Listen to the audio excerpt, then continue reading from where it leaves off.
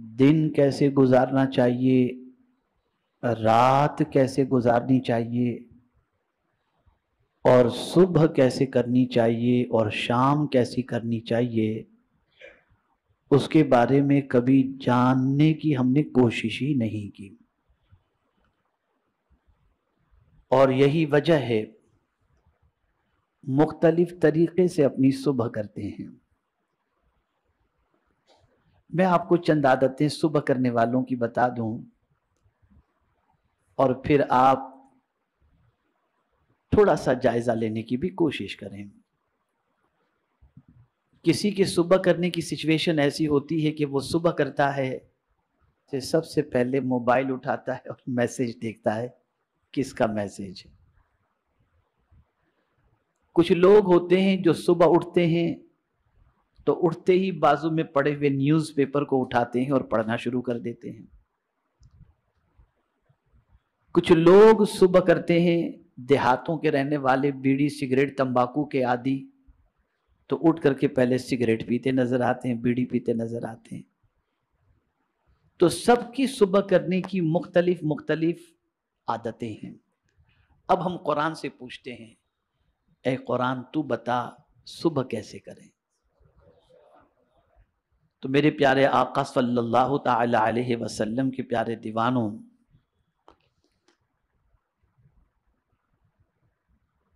सुबह होते ही अहलुल्लाह कहते हैं, अल्लाह वाले कहते हैं कि ऐसा कोई दिन नहीं जिसमें इब्ने आदम को सुबह हुई और अल्लाह ने उस पर दस काम फ़र्ज़ न किए। सुबह होते कितने काम फ़र्ज़ न किए हों? दस। पहली चीज़, जब सोकर उठे तो अल्लाह ताला का कुछ ना कुछ ज़िक्र करे। ये पहला काम उसका। और उसकी दलील क्या है? तो कुरान शरीफ की ये आदत, ये ये आयत करीमा वसबिका तकूम। यानी ए बंदे, जब तू सुबह उठे तो अपने रब की हमद के साथ तस्बीह कर ले। यानी सुबह उठ तो उठते ही पहले अपने रब की हमद के साथ तस्बीह कर, यानी अल्हम्दुलिल्लाह सुबहान अल्लाह उठते ही पहले ये कहे, न मोबाइल ढूंढ, न अखबार ढूंढ, न बीड़ी ढूंढ, न सिगरेट ढूंढ।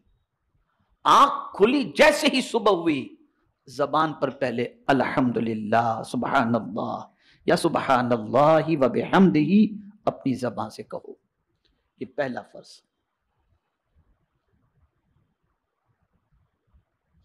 दूसरा, अब ये भी तफसील तलब है, इसमें भी अल्लाह के मुख्तलिफ़ इरशादात हैं।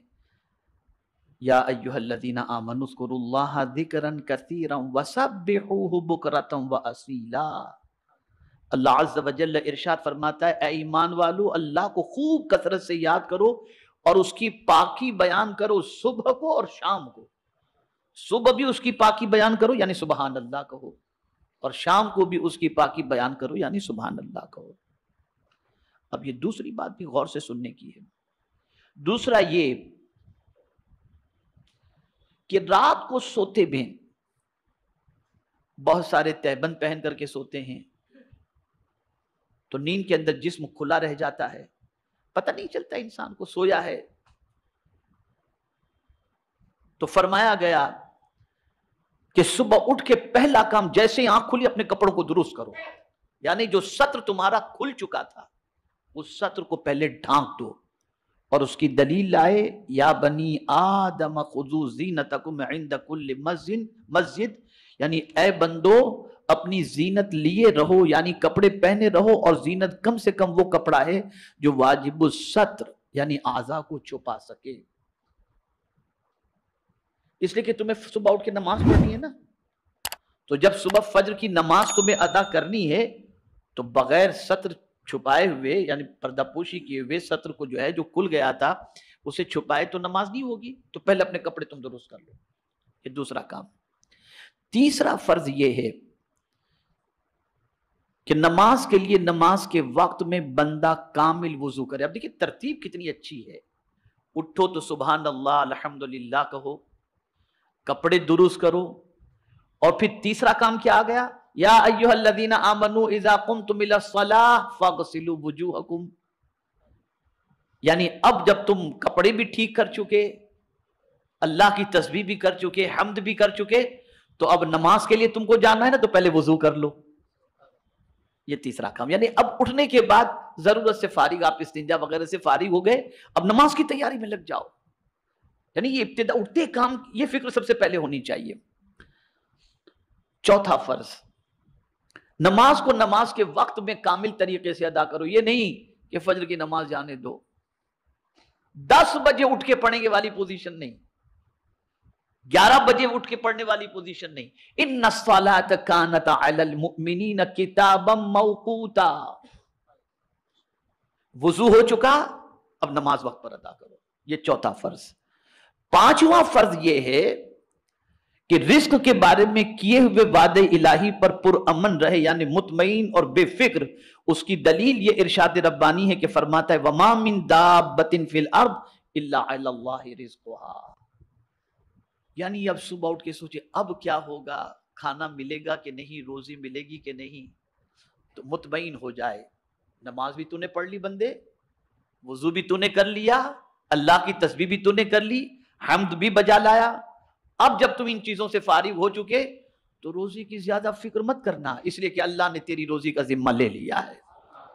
और जब रोजी का जिम्मा ले लिया तो मेरे प्यारे आका सल्लल्लाहु अलैहि वसल्लम के प्यारे दीवानों, अब अल्लाह का नाम लेकर के तू निकल, बेफिक्र होकर निकल।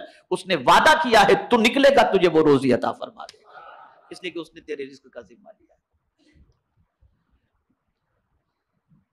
मेरे प्यारे आका सल्लल्लाहु अलैहि वसल्लम के प्यारे दीवानों, अब यहाँ एक छोटी सी बात दरमियान में अर्ज़ कर दूँ। सुबह की नमाज़ हो या किसी भी वक्त की नमाज़, खुद भी उठो, अपने अहलो अयाल को भी उठाओ। खुद भी नमाज़ पढ़ो, अपने अहलो अयाल को भी नमाज़ का हुक्म दो। वामुर ला नसलु का रिस्का नहनु नरजुकुक। अपने अहलो आयाल को नमाज़ का हुक्म दो और खुद भी नमाज़ पर कायम रहो। अल्लाह फरमाता है, मैं तुमसे रोजी नहीं माँगता, मैं तुमको रिस्क अता करूँगा। मैं तुमको रोजी अता तो रिस्क के सिलसिले में सुबह उठकर मुतमिन हो जाओ। इस पर एक और हदीस शरीफ में दलील के तौर पर लाऊं कि आकाए करीम सल्लल्लाहु अलैहि वसल्लम इरशाद फरमाते हैं, सुबह के वक्त रोजी का फरिश्ता रोजी लेकर के आता है। जब बंदा नमाज़ पढ़ता है तो उसके हिस्से की रोजी उसे दे देता है। और अगर बंदा पड़ा रहता है तो उसकी रोजी लेके चला जाता है। तो पता चला, उठे, नमाज़ अदा कर लिए, तुम्हारे हिस्से की रोजी के लिए तुम मुतमिन हो जाओ, अल्लाह तुम्हारे हिस्से की रोजी तुम्हें अता फरमाएगा। अब छठा फ़र्ज़ यह है कि अल्लाह की तकसीम पर कनात करे। यानी अब आप निकले तो आपने देखा किसी को सुबह दुकान खोलते ही हज़ारों का माल उसका बिक गया। और आपकी शाम तक कोई कस्टमर आपकी दुकान पर नहीं आया तो आप ये सोचें कि यार, मुझे इतना कम, उसको इतना ज़्यादा क्यों? तो अब इस पर दलील आ रही कुरान की, अल्लाह अकबर। कुरान कहते नहनु कसम ना बई नहम मीशत फिल हयात दुनिया। यानी हमने बंदों के दरमियान उनकी दुनियावी ज़िंदगी में गुजर बसर की चीज़ें बांट दी हैं, अपनी मशीयत, हिकमत से बाज को बाज पर फजीलत दे दी। यानी अल्लाह ये फरमाता है, मुझे मालूम है किसको कितना देना। तो हमने तकसीम कर दिया है।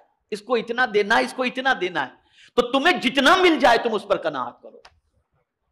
और अगर कोई कनाहत करे तो क्या होता है? तो आका करीम सल्लल्लाहु अलैहि वसल्लम फरमाते, मन कना जल्ला वमन तमा जो कनात इख्तियार करता है जितना मेरे करीम तूने अता किया, तेरा शुक्र है। तो अल्लाह फरमाते मैं उसे इज़्ज़त अता कर देता हूँ। और जो लालच में लगा रहता है, सरकार फरमाते अल्लाह उसे जलील कर देता है। उसका पेट ही नहीं भरता। उसका पेट ही नहीं भरता। और जो कनात करता है ना, बस जो मिल गया अल्लाह का शुक्र। इसको मैं कुरान मुकद्दस की दूसरी आयत की रोशनी में भी समझा सकता हूँ।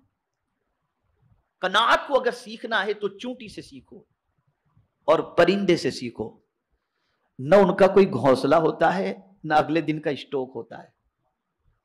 अगले दिन का खाना, अगले दिन का दाना, कोई परीन चरीन चूंटी एडवांस के अंदर जमा करके नहीं रखती। लेकिन जिस दिन मिल गया, सुबह निकले भूखे, शाम को पेट भर के परिंदे लौट आते हैं और अल्लाह के दिए हुए रिस्क पर कनात करते हैं, मौला दूसरे दिन फिर उन्हें अता फरमा देता है। अता फरमा देता है। सातवां फ़र्ज़ सुबह उठ करके ही जो है, वो ये है कि अल्लाह पर भरोसा करें। क्या करें? हम किस पर भरोसा करते हैं? कस्टमर पर। हम किस पर भरोसा करते हैं? सेठ पर। और कुरान कहता है, अल्लाह पर भरोसा करो। बहुत अहम बात अर्ज़ कर रहा हूँ। अगर इस नुक्ते को आपने जहन में महफूज कर लिया ना तो मैं यकीन के साथ कहता हूँ, आपके दिल से पूरी ज़िंदगी जो है ना, इसको याद रखेंगे तो पूरी ज़िंदगी इंशाल्लाह आप टेंशन फ्री हो जाएँगे। अभी कन्वेंशन के अंदर, मगरिब के बाद मेरा बयान था महापुली में, मैंने वहाँ एक जुमला कहा था वही यहाँ पर कह देता हूँ, उसके बाद आयत की तरफ़ आता हूँ। मैंने कन्वेंशन में एक कॉल पेश किया। रास्ता एक ही था। रास्ता? बोलिए। बोलिए, रास्ता एक ही था। फिर डूब गया। मूसा सलाम निकल गए। रास्ता एक ही था। फिर डूब गया। मूसा सलाम निकल गए। वजह यह है कि फिर को रास्ते पर भरोसा था, मूसा को खुदा पर भरोसा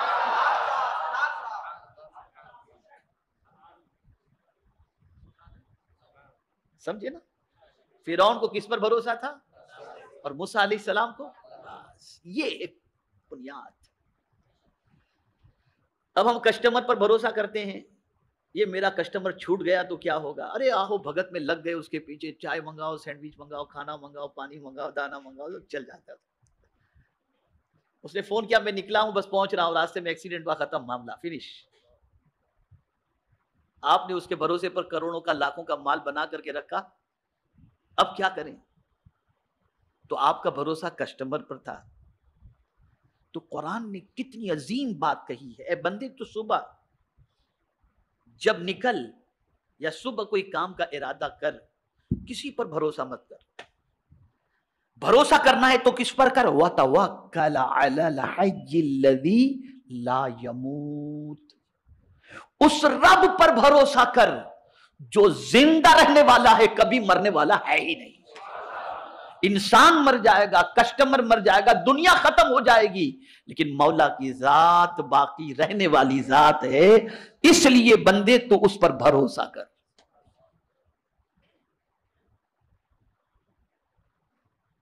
सुबह होते क्या होगा, कैसे होगा, कुछ भी। ये सुबह होते ही हमारे ऊपर अल्लाह लाजिम कर रहा है कि हम उस पर भरोसा करें। व तवक्ल ला यमूत। अब आइए आठवीं चीज़ की तरफ़। बंदा अल्लाह के आकाम पर अमल करने के सिलसिले में सब्र करे। सब्र के मानी क्या होता है?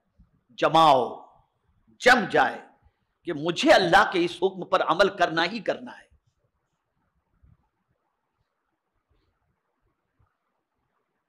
आमतौर पर बंदा सोचता है कि झूठ बोलूँगा तो धंधा चलेगा। यार, अगर थोड़ा सा यूँ बोल दूँगा तो काम चल जाएगा। और वही अल्लाह के हुक्म से बंदा फिसल जाता है, बजावरी नहीं कर पाता। लेकिन कुरान कहता है फस बिर हुक्म रबिक यानी ए बंदे अपने रब के हुक्म की तामील के लिए बर्दाश्त कर। यानी बंदे, तू बर्दाश्त कर ले। नहीं, मुझे तो मेरे रब के हुक्म पर ही अमल करना है। खत्म हो गई बात। मिलना होगा, उतना मिलेगा। देने वाली जात अल्लाह की है। मैं क्यों झूठ बोल करके अपनी आखिरत को बर्बाद करूँ? जम जाओ उसके ऊपर। ये तुम्हारे ऊपर फ़र्ज़ है। उठते ही फ़र्ज़ बन जाता है। इसलिए कि अल्लाह के हुक्म पर अमल करने से अगर कोई रोकता है तो वो शैतान रोकता है। और वो नफ्स रोकता है। तो सुबह होते ही माइंड ये सेट कर लेना चाहिए कि मुझे अपने रब के हुक्म पर सब्र करना है और उस पर जमे रहना है। ये आठवां फ़र्ज़। नवा फ़र्ज़। क्या तरतीब? फ़की अबुल्लै समरकंदी रहमत ने दी है। वल्लाह, मैं कहता हूँ कि उनकी अजमतों पर कुर्बान कि इतना स्टेप बाय स्टेप उन्होंने कुरान की आयत की रोशनी से समझाया है कि बंदा अगर सुबह इस हाल में कर ले तो उसकी सुबह भी अच्छी, उसकी शाम भी अच्छी, उसकी ज़िंदगी भी अच्छी उसकी मौत भी अच्छी बन जाए अब देखिए नवा फ़र्ज़ क्या बताते हैं? अल्लाह ताला की दी हुई नेमतों पर उसका शुक्र अदा करे। यानी नेमत की कद्र करे ना कदरी ना करे। दलील उसकी ये आयत करीमा है फरमाता है, वशकुरु नेमत अल्लाह। इनकुन तुम ताबुदून। यानी, ए बंदो, अल्लाह की सब नेमतों को याद करो, ध्यान में लाओ। अगर तुम तनहा उसकी इबादत करते हो, अगर तुम तनहा उसी की इबादत करते हो, और सबसे पहली नेमत, बाद वजूद हयात तंदुरुस्ती है, और सबसे अजीम तरीन नेमत दीन इस्लाम है। यानी, अल्लाह ने तुम्हें सुबह इस हाल में अता फरमाई कि तुम तंदुरुस्त